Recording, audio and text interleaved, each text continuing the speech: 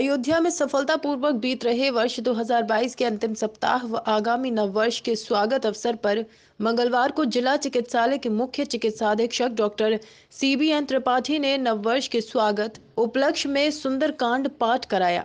वहीं सुंदरकांड पाठ की सूचना मिलती ही आयुक्त गौरव दयाल भी जिला अस्पताल पहुँचे और सुंदर पाठ सुना। सुंदरकांड के उपरांत अस्पताल प्रशासन ने सहभोज का भी आयोजन किया गया, जिसमें जिला चिकित्सालय के समस्त अधिकारियों व कर्मचारियों ने बढ़ चढ़ कर हिस्सा लिया।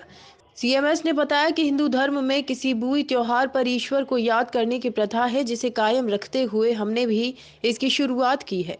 उन्होंने बताया कि पिछले दिनों कोरोना व डेंगू जैसी भयावह बीमारी के चलते हमारा पूरा स्टाफ अपनी जान की परवाह किए बिना ही मरीजों की सेवा में जुटा रहा, जिसका सफल परिणाम मिला। इसी तरह आने वाले नववर्ष में भी ईश्वर से यही प्रार्थना की गई कि इसी तरह आगे भी हमारे स्वास्थ्य कर्मियों अपना काम पूरी ईमानदारी से करते रहें।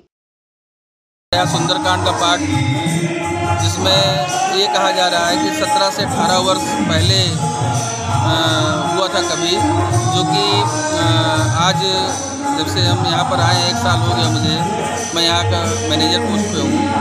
तो साल के अंत में एक ऐसा प्रोग्राम किया गया है जो ईश्वर कृपा से हमारे जिला चिकित्सालय और पूरा जिला हमारा सुरक्षित और स्वस्थ रहे हमेशा।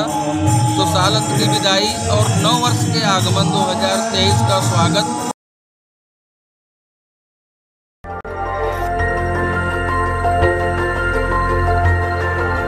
देखते रहिए डीबी भारती समाचार नज़र हर खबर पर।